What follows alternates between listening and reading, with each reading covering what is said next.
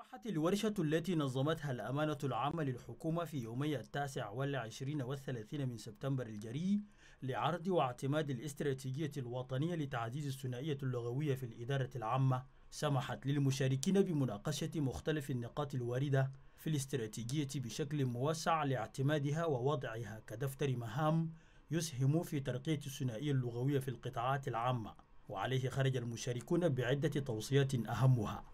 إنشاء السلطة الوطنية العليا لتطبيق الثنائية اللغوية. إنشاء صندوق مالي وطني لدعم تعزيز الثنائية اللغوية في تشاد. اعتماد الاستراتيجية الوطنية لتعزيز الثنائية اللغوية في الإدارة بشكل كامل. كما قدم المشاركون برقية شكر وعرفان لرئيس الفترة الانتقالية رئيس الجمهورية رأس الدولة الفريق أول محمد إدريس دي بيتنو على اهتمامه الخاص بأمر الثنائية اللغوية.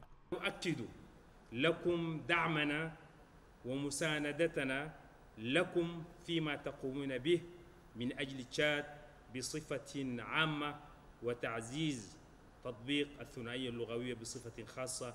الوزير الأمين العام للحكومة هليكي شواء محمد في كلمته لاختتام أعمال الورشة أشاد بعمل المشاركين وأكد أن ما خرجت به الورشة سيدعم جهود الحكومة في مجال تطبيق الثنائية اللغوية في الإدارة العامة.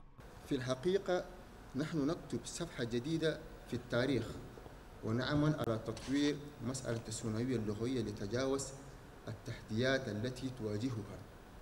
قمتم بتشخيص عميق للمشاكل التي تعيق تطبيق الثنائية اللغوية بشكل فعال في الإدارة.